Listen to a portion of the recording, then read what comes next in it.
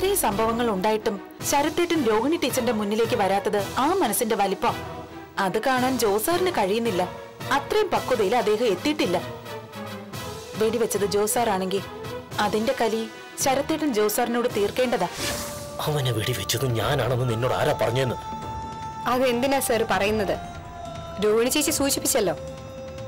വിതുരസുര അവിടെ ഉണ്ടെന്ന് അറിഞ്ഞിട്ട് പിസ്റ്റൾ പരിശോധിച്ചു എന്ന് അതത്ര നല്ല ഹോട്ടലല്ലെന്ന് കരുതി അവിടെ വെച്ച് റിവോൾവർ എടുത്ത് നോക്കി എന്നുള്ള കാര്യം സത്യ. ഇതൊന്നും പറയാതെ മനസ്സിൽ വെച്ച് നടക്കണമെന്നുണ്ടെങ്കിൽ ഇഷ്ടംപോലെ ഇഷ്ടം പോലെ കാശുണ്ടല്ലോ. അതിന് സാറിനെ കാണാൻ വരുമ്പോ അത് ഇന്ന് കുറേച്ചെ കുറച്ച് എനിക്ക് തന്ന കുഴപ്പമില്ല. അത് കിട്ടിക്കഴിഞ്ഞാൽ ഏത് നഗ്ന സത്യത്തെയും തുണി ഉടുപ്പിച്ച് എന്റെ ചങ്കിൽ സൂക്ഷിക്കും. അല്ലെങ്കിൽ നഗ്ന സത്യം തുണി ഉടുക്കാതെ ഇങ്ങനെ കറങ്ങി നടക്കും.